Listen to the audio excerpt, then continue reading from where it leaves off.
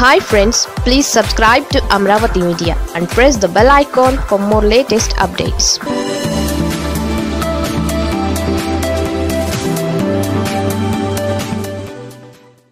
BJP versus YCP పేలుతున్న మాటల తూటాలు. ఆంధ్రప్రదేశ్లో రాజకీయాలు మరోసారి వేడెక్కాయి. తిరుపతి ఉప ఎన్నిక సందర్భంగా పార్టీల మధ్య మాటల తోటాలు పేలుతున్నాయి. ఈ విషయంలో అధికార వైఎస్ఆర్ కాంగ్రెస్ పార్టీ తెలుగుదేశం పార్టీల కంటే వైసీపీ భారతీయ జనతా పార్టీల మధ్య మాటల తోటాలు పేలుతున్నాయి. రెండు పార్టీల ముఖ్య నేతల మధ్య ట్విట్టర్ ద్వారా వారు జరుగుతోంది. తిరుపతి ఉప ఎన్నికల ప్రచారంలో భాగంగా బీజేపీ రాష్ట్ర అధ్యక్షుడు సోము వీర్రాజు చేసిన కామెంట్స్ రాష్ట్ర వ్యాప్తంగా చర్చనీయాంశమయ్యాయి.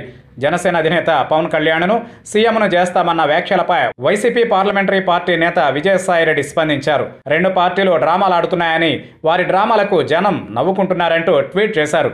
దీనికి కౌంటర్గా సోము వీర్రాజు కూడా ట్వీట్ చేశారు. త్వరలోనే జైలుకు వెళ్ళబోతున్నారని ఎద్దేవా చేశారు. దీంతో బీజేపీ వైసీపీ మధ్య సోషల్ మీడియా వార్ పీక్స్కు చేరుతోంది. రెండు పార్టీల మధ్య రాజకీయ వైరం మరింత ముదిరింది.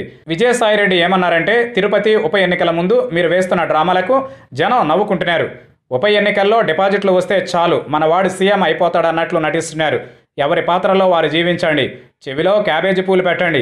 జనం మాత్రం మళ్ళీ వైసీపీని దీవిస్తారు అంటూ ట్వీట్ చేశారు. దీనికి సోము వీర్రాజు గట్టిగానే రియాక్ట్ అయ్యారు. మా ఊసు ఎందుకులే విజయసాయిరెడ్డి గారు? కోర్టులకు చెవులో పువ్వులు పెడుతూ బయట మేకపోతు గాంభీర్యంతో తిరుగుతున్నా లోపల గోళ్ళు కొరుక్కుంటున్నారంటగా ఆలీబాబా నలభై దొంగలంతా తిరుపతి ప్రజలకి మేము ఏమిచ్చామో చెప్పి క్యాబేజీ పువ్వులు మీకు పంపిస్తాం. బెయిల్ రద్దవగానే కోరకే లోపల ఉపయోగపడతాయి అంటూ కౌంటర్ ట్వీట్ చేశారు. తిరుపతిలో జనసేన బీజేపీ కార్యకర్తల సమన్వయ సమావేశంలో పాల్గొన్న సోము వీర్రాజు పవన్ కళ్యాణ్ను ఏపీ సీఎంగా చూడడమే తమ లక్ష్యమని వ్యాఖ్యానించారు.